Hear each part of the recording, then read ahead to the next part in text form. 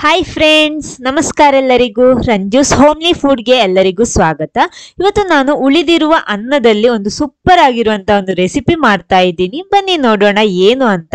ಆಮೇಲೆ ನೀವು first time ಈ ಚಾನಲ್ ನೋಡ್ತಿದ್ರೆ ಚಾನಲ್ ಸಬ್ಸ್ಕ್ರೈಬ್ ಮಾಡಿ ಸಪೋರ್ಟ್ ಮಾಡಿ, ಅದರ ಪಕ್ಕದಲ್ಲೇ ಇರುವ ಬೆಲ್ ಐಕನು ಪ್ರೆಸ್ ಮಾಡಿ, ಅದರಲ್ಲಿ ಬರುವ ಆಲ್ ಆಪ್ಷನಿಗೂ ಕ್ಲಿಕ್ ಮಾಡಿ.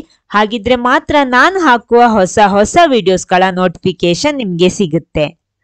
ಇಲ್ಲಿ ನೋಡಿ ಸ್ವಲ್ಪ ಅನ್ನ ತಗೊಂಡಿದ್ದೀನಿ, ಉಳಿದಿರುವಂತಹ ಅನ್ನ. ಇದು ಎಷ್ಟಿದೆ ಅಂತ ನಾವು ಅಳತೆ ಮಾಡೋಣ. ಇದನ್ನ ಮೊದಲು ರುಬ್ಬೇಕು, ಒಂದು ಮಿಕ್ಸಿ ಜಾರಿಗೆ ಹಾಕ್ಬಿಟ್ಟು. ಅದಕ್ಕೋಸ್ಕರ ಮಿಕ್ಸಿ ಜಾರ್ ತಗೊಂಡಿದ್ದೀನಿ. ನೋಡಿ, ಅಳತೆ ಮಾಡಿ ಹಾಕ್ತೀನಿ. ಅರ್ಧ ಕಪ್ ಪ್ಲಸ್ ಅರ್ಧ ಕಪ್, ಒಂದು ಕಪ್ ಅನ್ನ ಹಾಕೊಂಡಿದ್ದೀನಿ ಇಲ್ಲಿ ನಾನು. ಇನ್ನು ಇದನ್ನ ರುಬ್ಬೇಕು, ನುಣ್ಣಗೆ ರುಬ್ಬೇಕು. ಸ್ವಲ್ಪನೂ ಹುಡಿ ಹುಡಿ ಇರಬಾರ್ದು. ನೋಡಿ, ರುಬ್ಬಿ ತಂದಿದ್ದೀನಿ ಇವಾಗ. ಅನ್ನದ ಪೇಸ್ಟ್ ಇಲ್ಲಿ ರೆಡಿ ಆಗಿದೆ. ಆಮೇಲೆ ನಮ್ಗೆ ಬೇಕಾಗಿರೋದು ಬೆಲ್ಲ. ತುರ್ದಿಟ್ಕೊಂಡಂತಹ ಬೆಲ್ಲ ಮುಕ್ಕಾಲು ಕಪ್ಪು ಒಂದು ಪಾತ್ರೆಯಲ್ಲಿ ಹಾಕೊಂಡಿದ್ದೀನಿ. ಅದಕ್ಕೆ ಕಾಲು ಕಪ್ಪು ನೀರು ಹಾಕ್ಬಿಟ್ಟು ಇದನ್ನ ಕುದಿಸ್ಬೇಕು. ಅಂದ್ರೆ ಜಸ್ಟ್ ಮೆಲ್ಟ್ ಆದ್ರೆ ಸಾಕು, ಬೆಲ್ಲ ಕರಗಿದ್ರೆ ಸಾಕು. ನೋಡಿ ಈ ರೀತಿ, ನೋಡಿ ಬೆಲ್ಲದ ಪಾಕ ಇಲ್ಲಿ ರೆಡಿ ಆಗಿದೆ. ಚೆನ್ನಾಗಿ ಕರಗಿ ಇವಾಗ ಈ ರೀತಿಯಾಗಿದೆ. ಸಾಕು, ಇವಾಗ ನಾನು ಸ್ಟವ್ ಆಫ್ ಮಾಡ್ತಾ ಇದ್ದೇನೆ, ಇದ್ದೀನಿ. ಇದನ್ನ ಸೈಡ್ ಅಲ್ಲಿ ಇಡ್ತಾ ಇದ್ದೀನಿ. ನೆಕ್ಸ್ಟ್ ಒಂದು ಪ್ಯಾನ್ ತಗೊಳ್ಳಿ. ಅದಕ್ಕೆ ನಾನಿಲ್ಲಿ ಮೊದಲು ಒಂದು ಕಪ್ಪು ನೀರು ಹಾಕ್ತಾ ಇದ್ದೀನಿ. ನೋಡಿ ಇವಾಗ ಅರ್ಧ ಅರ್ಧ ಒಂದು ಕಪ್ ನೀರು ಹಾಕೊಂಡಿದ್ದೀನಿ.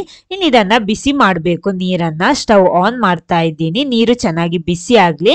ರುಚಿಗೆ ತಕ್ಕಷ್ಟು ಉಪ್ಪು ಕೂಡ ಸೇರಿಸ್ತಾ ಇದ್ದೀನಿ. ಒಂದ್ಸಲ ಚೆನ್ನಾಗಿ ಈ ರೀತಿ ಮಿಕ್ಸ್ ಮಾಡ್ಕೊಳ್ಳಿ. ಇದು ಸ್ವಲ್ಪ ಬಿಸಿ ಆಗಲಿ. ಬಿಸಿ ಆದ್ಮೇಲೆ ನಾವು ಅವಾಗ ರುಬ್ಬಿಟ್ಟಂತಹ ಅನ್ನದ ಪೇಸ್ಟ್ ಇದಕ್ಕೆ ಸೇರಿಸ್ತಾ ಇರೋದು ಇವಾಗ.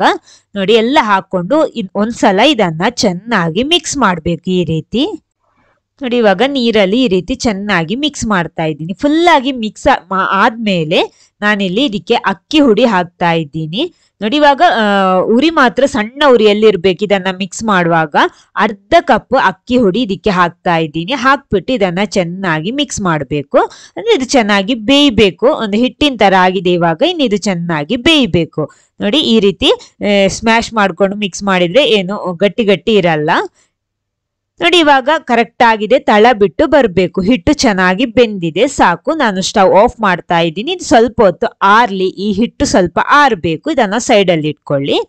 ಆಮೇಲೆ ಇಲ್ಲಿ ಒಂದು ಕಪ್ಪು ತೆಂಗಿನ ತುರಿ ನಾನಿಲ್ಲಿ ಮಿಕ್ಸಿ ಜಾರಿಗೆ ಹಾಕ್ತಾ ಇದ್ದೀನಿ. ಒಂದು ಕಪ್ಪು ಸಾಕು ಇಷ್ಟಕ್ಕೆ. ಒಂದು ಕಪ್ ತೆಂಗಿನ ತುರಿ. ಆಮೇಲೆ ಇದಕ್ಕೆ ಸ್ವಲ್ಪ ನೀರು ಹಾಕ್ಬಿಟ್ಟು ಇದನ್ನ ರುಬ್ಬಬೇಕು ಇದನ್ನ ರುಬ್ಬಿ ತರ್ತೀನಿ. ಆಮೇಲೆ ಒಂದು ಜರಡಿಯಲ್ಲಿ ಇದನ್ನ ಹಾಕಿ ಇದ್ರ ಹಾಲು ತೆಗಿಬೇಕು. ತೆಂಗಿನಕಾಯಿ ಹಾಲು ನಮಗೆ ಬೇಕಿಲ್ಲಿ. ಅದಕ್ಕೋಸ್ಕರ ತೆಂಗಿನಕಾಯಿ ಹಾಲು ತೆಗೆಯೋದಕ್ಕೋಸ್ಕರ ನೋಡಿ ಇದಕ್ಕೆ ಸ್ವಲ್ಪ ನೀರು ಕೂಡ ಹಾಕ್ಬಿಟ್ಟು ಚೆನ್ನಾಗಿ ಇದನ್ನ ಮಿಕ್ಸ್ ಮಾಡಬೇಕು. ಕೈಯಲ್ಲಿ ಹಿಂಡಬಹುದು ಅಥವಾ ಸ್ಪೂನ್ ಅಲ್ಲಿ ಬೇಕಿದ್ರು ಹಿಂಡಿ ಹಾಲು ರೆಡಿ ಮಾಡಬೇಕು. ನೋಡಿ, ಇವಾಗ ಹಿಂಡಿ ರೆಡಿ ಆಗಿದೆ.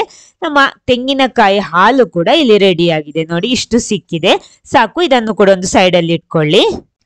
ಹಿಟ್ಟು ಕೂಡ ಇಲ್ಲಿ ಆರಿದೆ. ಇನ್ನು ಕೈಗೆ ಸ್ವಲ್ಪ ಎಣ್ಣೆ ಸ್ಪ್ರೆಡ್ ಮಾಡಿಬಿಟ್ಟು ನಿಮ್ಗೆ ಎಷ್ಟು ಸಣ್ಣಕ್ಕಾಗುತ್ತೋ ಅಷ್ಟು ಸಣ್ಣಕ್ಕೆ ಈ ರೀತಿ ಉಂಡೆ ಮಾಡ್ಕೊಳ್ಳಿ ಇದನ್ನ ನೋಡಿ. ಈ ರೀತಿ.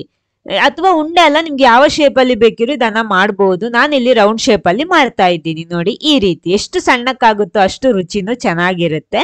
ನೋಡಿ, ಇಲ್ಲಿ ಉಂಡೆ ಎಲ್ಲ ರೆಡಿ ಆಗಿದೆ. ಇಷ್ಟ ಆಗಿದೆ ಇವಾಗ. ಸಾಕು. ನೆಕ್ಸ್ಟ್ ಒಂದು ಪ್ಯಾನಿಗೆ ಪ್ಯಾನ್ ಅಲ್ಲಿ ನಾನು ನೀರು ಬಿಸಿ ಮಾಡೋದಿಕ್ಕೆ ಇಡ್ತಾ ಇದ್ದೀನಿ, ಇಟ್ಟಿದ್ದೀನಿ. ನೋಡಿ, ಕಾಲು ಭಾಗದಷ್ಟು ನೀರು ಸಾಕು. ಇದಕ್ಕೆ ಸ್ವಲ್ಪ ರುಚಿಗೆ ತಕ್ಕಷ್ಟು ಉಪ್ಪು ಕೂಡ ಸೇರಿಸ್ಕೊಳ್ಳಿ. ಇನ್ನು ನೋಡಿ, ನೀರು ಚೆನ್ನಾಗಿ ಕುದಿ ಬಂದ ಮೇಲೆ ನಾವು ರೆಡಿ ಮಾಡಿಟ್ಟಂತಹ ಉಂಡೆ ಇದೆಯಲ್ಲ, ಅದನ್ನ ಇದಕ್ಕೆ ಹಾಕ್ಬಿಟ್ಟು ಇದಕ್ಕೆ ಬೇಯಿಸ್ಬೇಕು. ನೋಡಿ, ನಮ್ಮ ಉಂಡೆ ಎಷ್ಟಿದೆ, ಅಷ್ಟು ಮಾತ್ರ ನೀರು ಹಾಕೊಂಡ್ರೆ ಸಾಕು, ಜಾಸ್ತಿ ಬೇಡ. ಎಲ್ಲ ಕೂಡ ಹಾಕೊಂಡಿದ್ದೀನಿ. ಒಂದ್ಸಲ ಚೆನ್ನಾಗಿ ಮಿಕ್ಸ್ ಮಾಡ್ಕೊಳ್ಳಿ. ನೋಡಿ, ಈ ರೀತಿ. ಇನ್ನು ಇದು ಬೇಯಬೇಕು.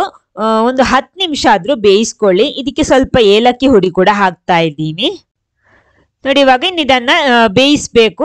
ಒಂದು ಹತ್ತು ನಿಮಿಷ ಮೀಡಿಯಂ ಫ್ಲೇಮಲ್ಲಿಟ್ಟು ಬೇಯಿಸಿದ್ರೆ ಸಾಕು. ಅಥವಾ ನಿಮಗೆ ಚೆಕ್ ಮಾಡ್ಬೋದು ಬೆಂದಿದ ಅಂತ.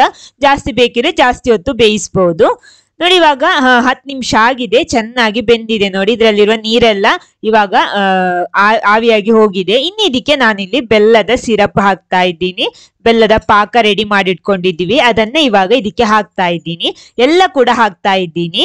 ಇಲ್ಲಿ ನಿಮ್ಗೆ ಜಾಸ್ತಿ ಬೇಕಿದ್ರೆ ಅಂದ್ರೆ ಸ್ವೀಟ್ ನಿಮ್ಗೆ ಜಾಸ್ತಿ ಬೇಕಿದ್ರೆ ಜಾಸ್ತಿ ಸೇರಿಸ್ಬೋದು, ಅಥವಾ ತುರ್ದ ಬೆಲ್ಲ ಪುನಃ ಸೇರಿಸ್ಬೋದು, ತೊಂದರೆ ಏನಿಲ್ಲ. ಒಂದ್ಸಲ ಚೆನ್ನಾಗಿ ಮಿಕ್ಸ್ ಮಾಡಿ ಒಂದ್ ಎರಡು ನಿಮಿಷ ಬಿಟ್ಟು ಇದಕ್ಕೆ ನಾವು ರೆಡಿ ಮಾಡಿಟ್ಟಂತಹ ತೆಂಗಿನಕಾಯಿ ಹಾಲು ಸೇರಿಸ್ಬೇಕು.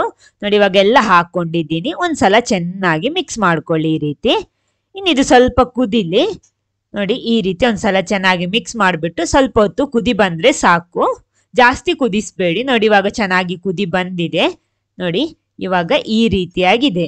ಅಂದ್ರೆ ನೀರ್ ಪುಂಡಿ ಮಾಡಿರೋದು ಸ್ಟವ್ ಆಫ್ ಮಾಡ್ತಾ ಇದ್ದೀನಿ. ಆಫ್ ಮಾಡಿದ ಮೇಲೆ ಇದಕ್ಕೆ ಬಿಸಿ ಬಿಸಿಯಾದಂತಹ ದನದ ಹಾಲು ಸೇರಿಸ್ಬೇಕು. ನೋಡಿ, ಒಂದು ಗ್ಲಾಸ್ ಹಾಕೊಂಡಿದ್ದೀನಿ ಆಫ್ ಮಾಡಿದ ಮೇಲೆ ಹಾಕಬೇಕು. ಅದಕ್ಕಿಂತ ಮುಂಚೆ ಸೇರಿಸಬೇಡಿ. ಇನ್ನು ಇದಕ್ಕೆ ಸ್ವಲ್ಪ ತುಪ್ಪದಲ್ಲಿ ಹುರಿದಿಟ್ಟಂತಹ ಗೋಡಂಬಿ ಮತ್ತು ದ್ರಾಕ್ಷಿ ಕೂಡ ಹಾಕ್ತಾ ಇದ್ದೀನಿ. ನೋಡಿ, ಇಲ್ಲಿ ನಮ್ಮ ನೀರು ಪುಂಡಿ ಟ್ರೆಡಿಷನಲ್ ಆಗಿರುವ ಒಂದು ರೆಸಿಪಿ ಇದು.